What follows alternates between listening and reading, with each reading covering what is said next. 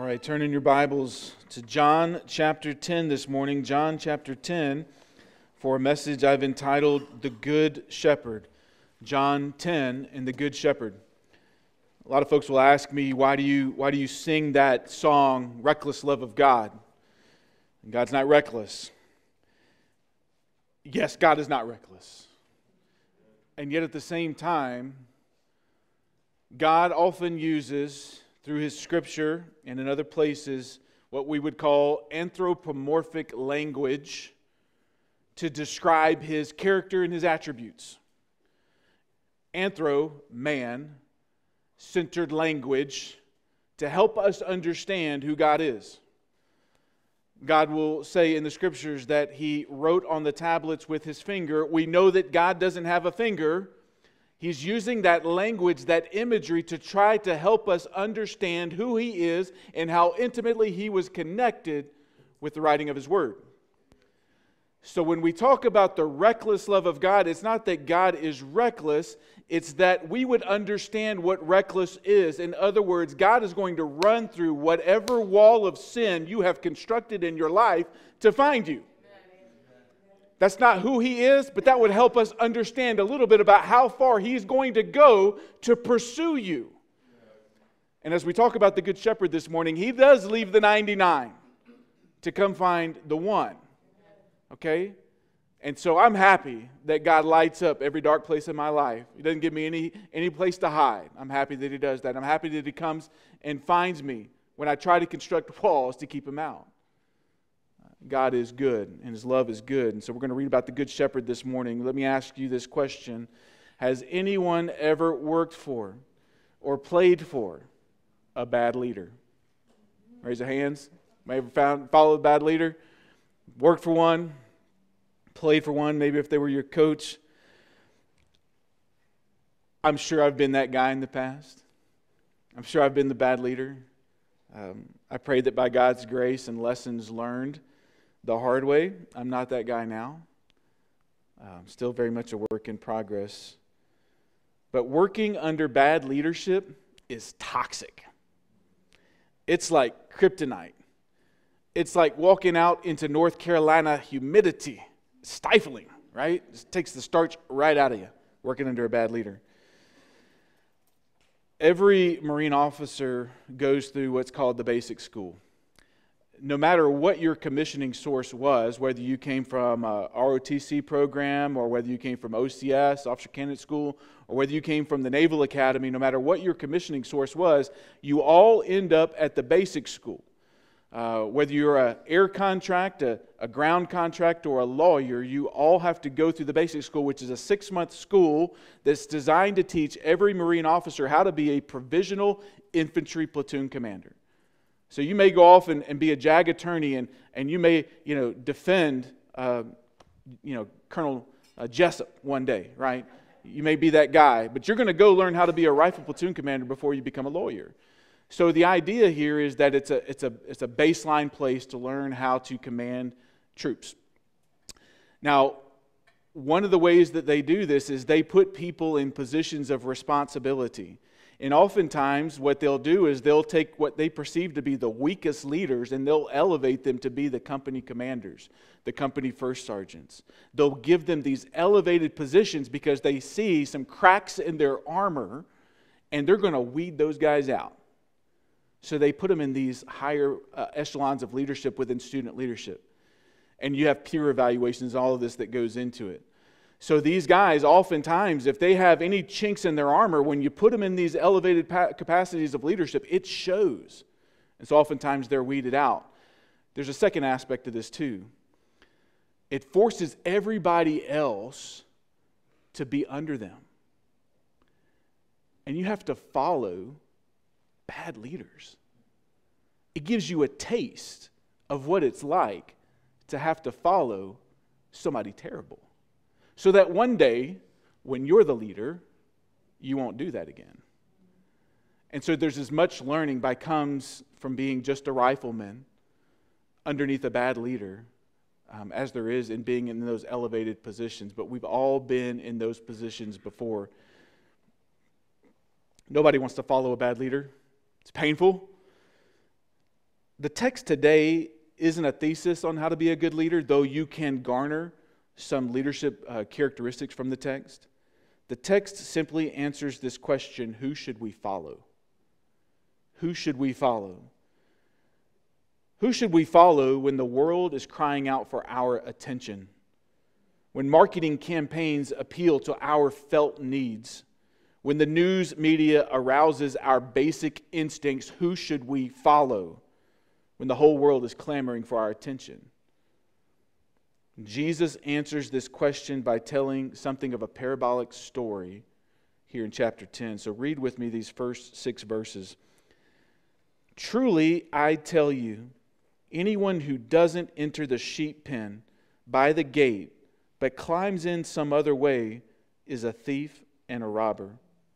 The one who enters by the gate is the shepherd of the sheep.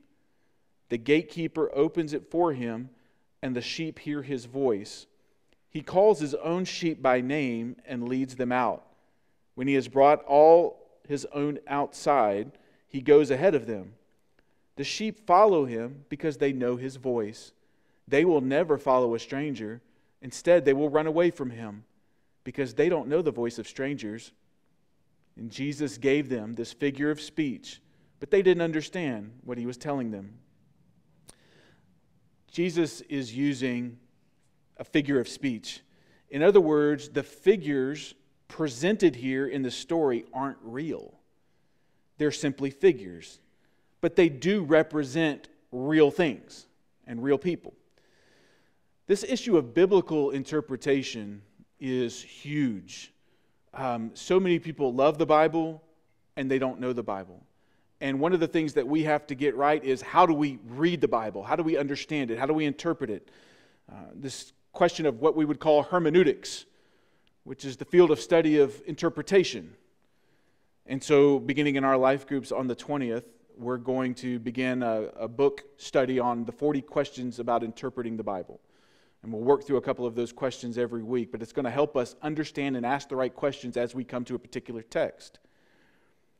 So, when we say that the Bible is inspired, when we say that the Bible is the inerrant word of God, we are not discounting the humanity of its authorship or general grammatical conventions. To say that we interpret the Bible literally is to say that we interpret the Bible normally, meaning the normal rules of speech are employed. The Bible employs about 20 to 30 different kinds of figures of speech. Dr. Jimmy Draper points out in his book Biblical Authority it is just as destructive to take a figurative passage literally as it is to take a literal passage figuratively. When I say your nose is running, it should be clear to you that your nose isn't lacing up his Nikes to go run down the street, right? It's figure of speech. Jesus, more than anyone, employs figures of speech, including in the text today.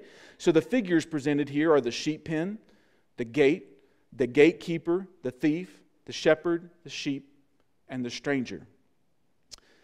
But as is often the case, people that Jesus is speaking to, they don't understand. They had a certain vision for how the Messiah was supposed to look, and Jesus didn't fit that mold. They so tunnel visioned about what it should be that they couldn't see what actually was. But Jesus is long suffering, right? Continues bearing with them. He offers them an explanation here of the characters in the story. In verse 7, he says this Truly I tell you, I am the gate for the sheep. All who came before me are thieves and robbers, but the sheep didn't listen to them. I am the gate. If anyone enters by me, he will be saved and will come in and go out and find pasture. A thief comes only to steal and kill and destroy. I have come so that they may have life and have it in abundance. In this story, Jesus is represented by a couple of figures. He is first represented by the figure of the gate. He says, I am the gate. This is the third of his seven I am statements in the book of John. The gate for the sheep. The gate represents a mechanism for entry. Gaining entry, as Jesus mentions in verse 9, includes access to both sustenance and salvation. The sheep will be provided for in the pasture, and they'll be saved from predators by the protection of the pen. But the gate doesn't just serve as a mechanism for entry, it also reminds us that some are excluded from entry. The sheep pen is a restricted area, it's a private courtyard, it's a family's home, it has walls, it's open to the sky, but not to the public there is only one point of entry. In verse 1, he mentions that those who attempt to climb in and over those walls are thieves. And even though there is only one way in, they try to gain access another way. Those people aren't sheep. They're thieves and robbers, and their aim is to steal, kill, and destroy. But the aim of Jesus is to give life and quality of life, life in abundance. Jesus isn't just the gate, though. He's also represented by another figure in this story. Look with me in verse 11. I am the good shepherd. The good shepherd lays down his life for the sheep. The hired hand, since he is not the shepherd and doesn't own the sheep, leaves them and runs away when he sees a wolf coming. The wolf then snatches and scatters them. This happens because he is a hired hand and he doesn't care about the sheep. He says, I am the good shepherd. Again, the fourth of the seven I am statements. So we have to ask this question how is it that Jesus is both the gate and the shepherd? The gate is an inanimate object, the shepherd is clearly animate.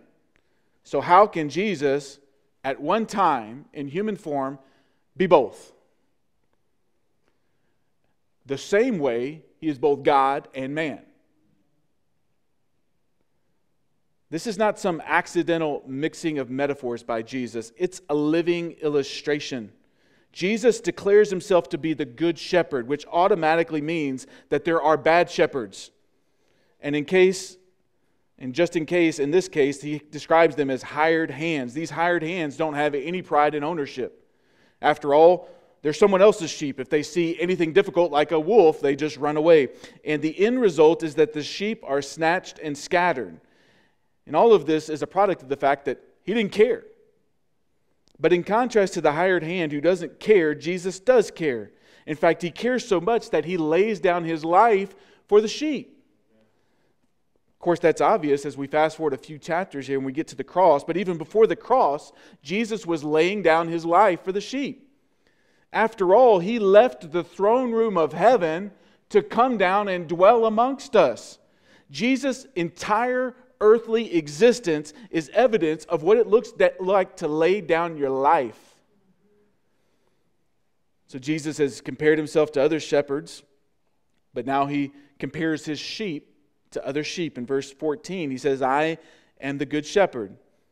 I know my own, and my own know me, just as the Father knows me, and I know the Father. I lay down my life for the sheep. But I have other sheep that are not from this sheep pen. I must bring them also, and they will listen to my voice. Then there will be one flock, one shepherd. This is why the Father loves me, because I lay down my life so that I may take it up again. No one takes it from me, but I lay it down on my own. I have the right to lay it down, and I have the right to take it up again. I have received this command from my Father.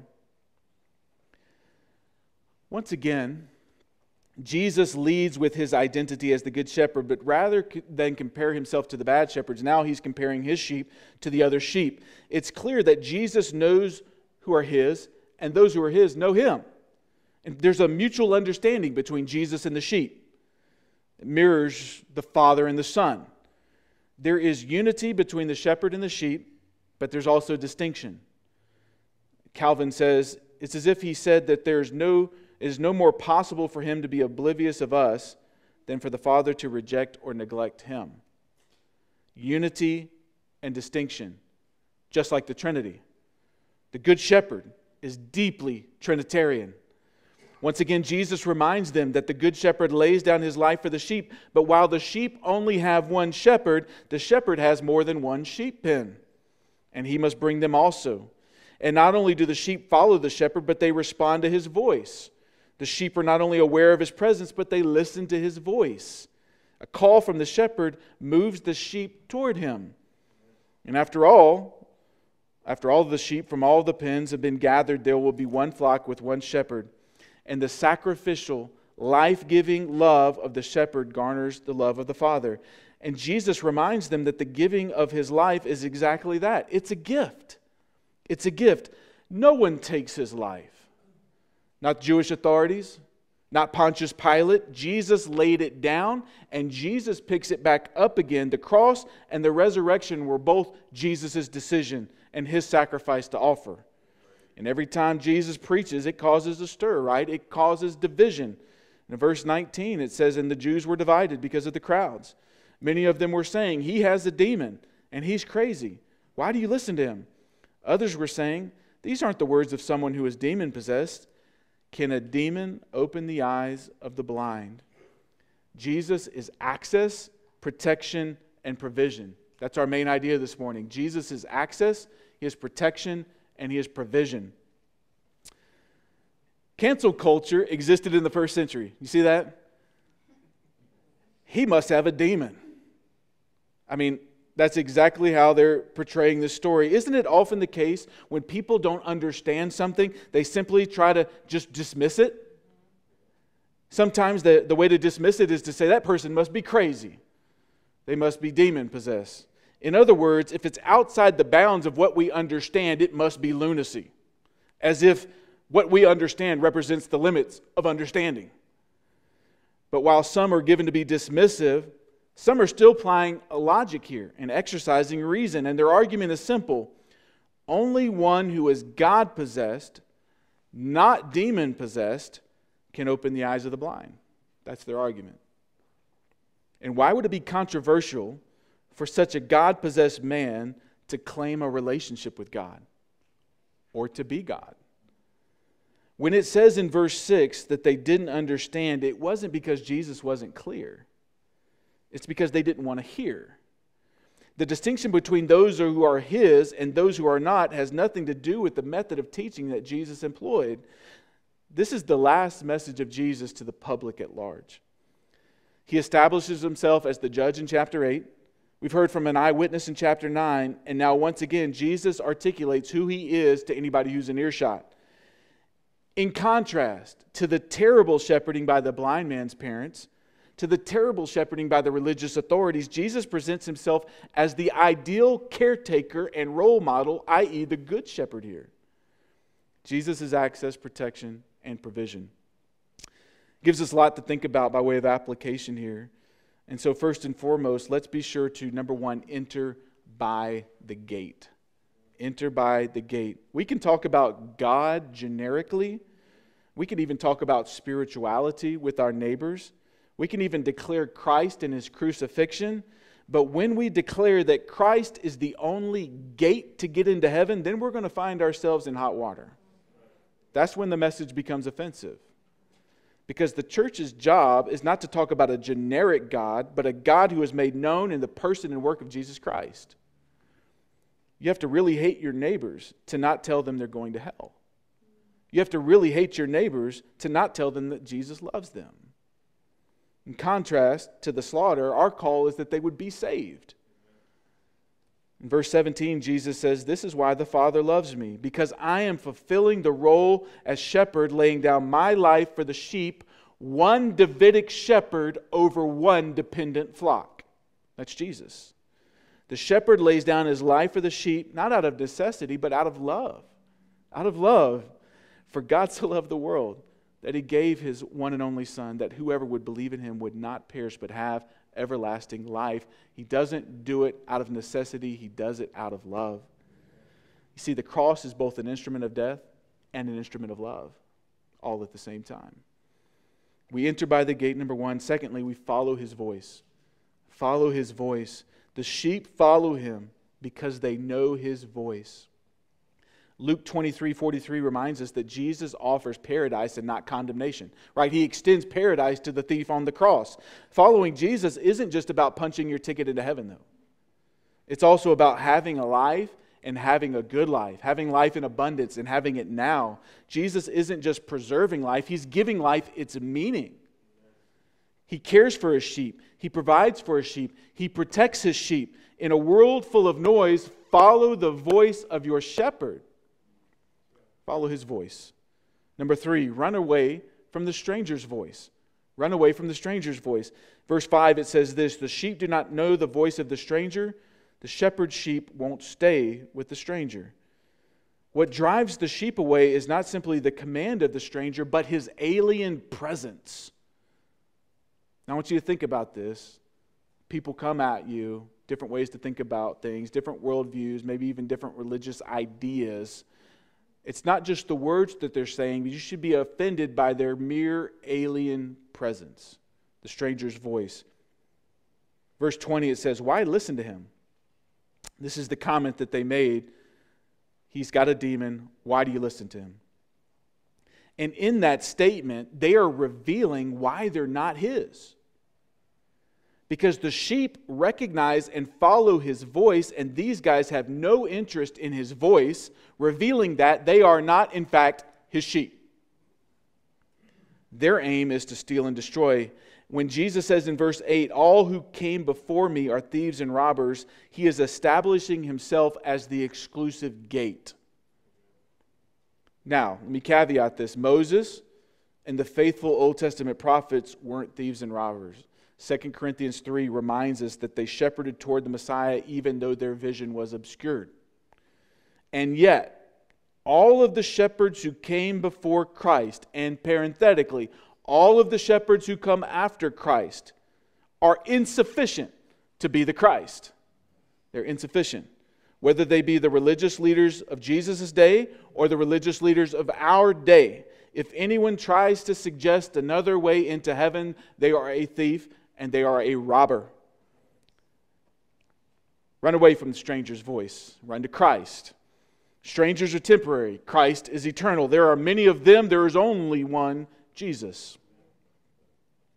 Enter by the gate, follow his voice, run away from the stranger. And number four, choose the right gatekeeper. Choose the right gatekeeper. Find a lowercase s shepherd that leads you to the uppercase s shepherd. There are a lot of pastors out there who are just hired workers.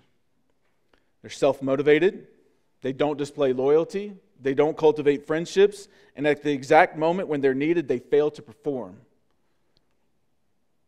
And the reason is the sheep don't matter to them. The sheep are simply a means to an end. When you choose a church, you need to ask yourself the question Is this under shepherd, this pastor, going to point me to the good shepherd in Christ? Does this pastor care? Will this pastor fight off the wolf of bad teaching? I want you to take a look at this video real quick quick of a sheep kind of caught in a, a hole and a shepherd getting the sheep out.